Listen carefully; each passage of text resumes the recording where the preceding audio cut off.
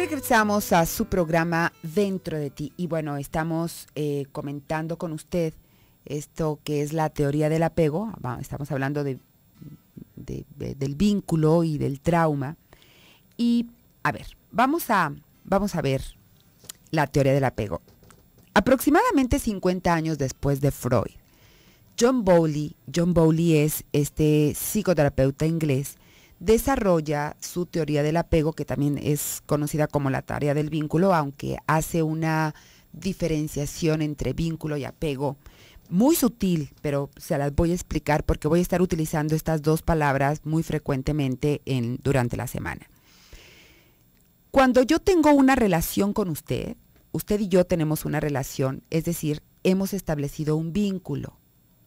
Pero la relación que yo tengo con usted y la relación que yo tengo con Claudia y la relación que yo tengo con Toño, lo voy a poner, por ejemplo, con Toño y con Claudia, es con los dos tengo una relación, con usted yo tengo una relación.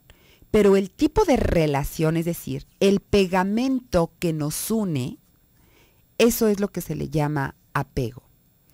Es un apego, puede ser un apego consistente, seguro, puede ser un apego inconsistente, puede ser un apego deprimido, puede ser un apego, sí, hay diferentes tipos de apego.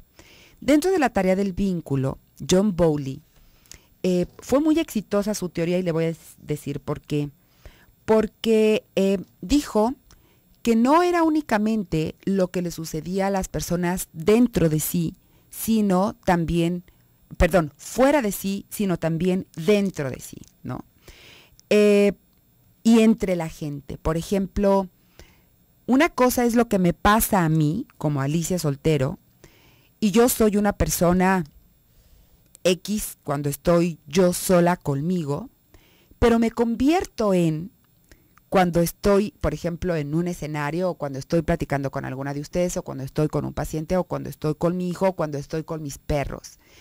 Y esto no nada más le pasa a Alicia Soltero, también le pasa a usted, mi reina. Yo le aseguro que usted no es la misma María que se relaciona con sus amigas, por ejemplo, y usted puede tener 10 amigas, pero va a haber algunas con las que se relacione un poquito más estrechamente.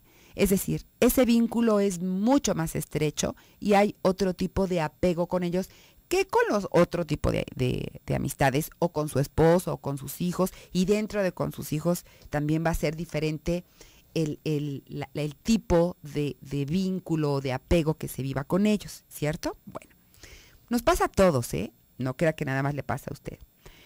John Bowley, que es el autor de esta teoría, tuvo muchísima fama con respecto a su teoría del apego em, en un estudio que hizo con 44 ladrones.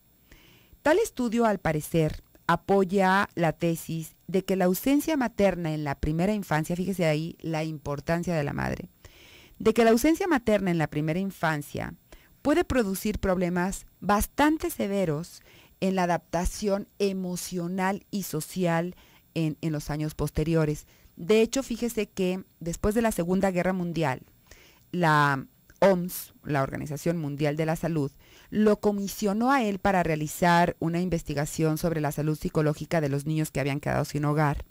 Y en este estudio combinó su conocimiento sobre la necesidad de vinculación en infancia con algunos aspectos llamativos de la psicología de los niños que no habían tenido ningún vínculo seguro durante sus primeros años de vida, ¿no?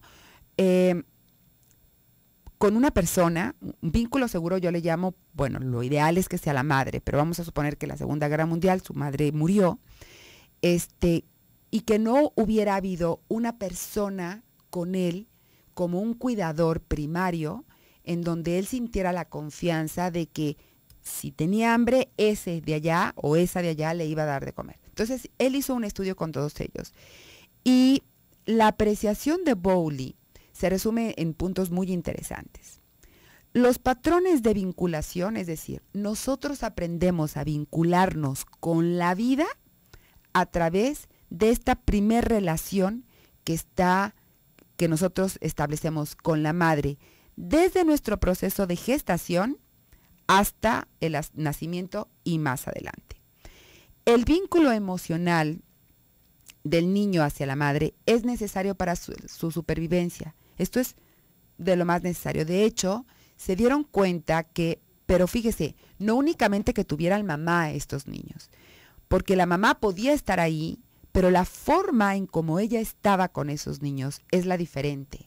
La forma como ella está eh, eh, eh, presente con nosotros. Porque se dieron cuenta que muchos niños recién nacidos tenían alimento, suficiente comida y suficiente cuidado personal, pero no tenían este contacto amoroso y estos niños morían, ¿no? Cuando no había este contacto amoroso con una persona primordial. Y eso sucede a pesar de que les dieran de comer todos los días.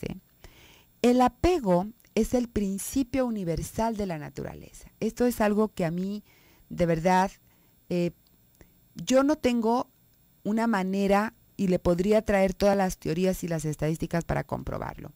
Pero creo que es mucho más cuando nosotros lo podemos ver en la vida cotidiana. Por ejemplo, y, usted va, de, va, si le gustan las plantitas, se va a dar cuenta, porque las plantas y los animales también establecen este tipo de vínculo. Qué curioso, ¿verdad?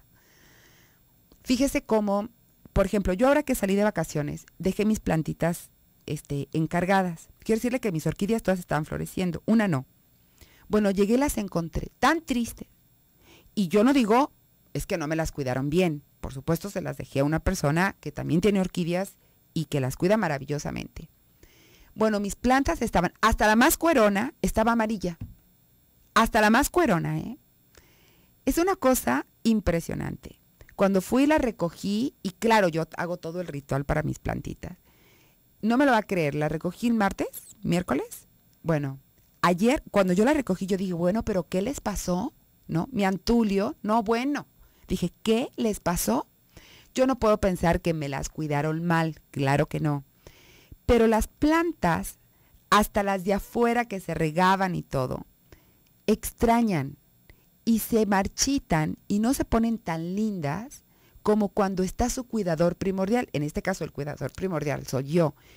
Digo, ¿no daba lo mismo que la regara cualquier persona? No, no da lo mismo. Y esto usted lo puede ver si deja sus mascotitas o bien con, una, en, una guardería para mascotas, porque hay guarderías para mascotas, o si las deja en su casa, independientemente, claro que los animalitos también se ponen tristes, porque fíjese que, ¿por qué? Porque las plantas, igual que los perros, eh, crecen junto con otros. Si se fija, los perritos, por ejemplo, siempre van a tener su manada de perritos, su grupo de perritos, ¿no? Este, y nos considera a nosotros como el líder de la manada. Entonces se establece un vínculo muy estrecho con la mascota, con el perrito. Lo mismo sucede, por ejemplo, con los rebaños, ¿no? Con las ovejas, con las vacas. Y con las plantas también sucede exactamente lo mismo. Si se va el cuidador primordial, le guste o no, sus plantas lo van a resentir. Bueno, este es el efecto del vínculo. Es decir, ¿qué sucede con esta relación entre el cuidador, que en este caso estamos hablando de la mamá, este, y el niño. Si este vínculo no es estrecho, si este vínculo no se da, entonces el niño tiene pocas posibilidades de estar sano mentalmente. ¿Cómo es que se puede dar el vínculo? Ahí le van cinco opciones por contacto inmediato. Por ejemplo, contacto de la piel, contacto del cuerpo, el tocar a nuestros, a, nuestros hijos. Me extiendo a los animalitos. No es lo mismo un perrito que esté en la azotea que el que es parte de la familia y que se sube al sillón con usted y que quizás duerma con usted y que usted lo acaricia y que juegue con él, ¿no? Entonces es por contacto. Por la percepción sensorial, por ejemplo, por el olfato, por el gusto, por la vista, por el oído, su voz, eh, eh, el, niño, por ejemplo, los primeros días de vida no ve, el niño no ve, pero el olfato, el niño puede oler a la mamá. Y nosotros tenemos un olor muy particular, independientemente de la loción que usted se ponga, este humor que nosotros le llamamos, nuestro sudor muy particular, el humor, nuestros hijos lo perciben y saben y claro que nuestro olor personal va a variar si usted está angustiada o está contenta o está tranquila. Eh, las personas deprimidas tienen cierto olor como a grito, como, como agrio, ¿no?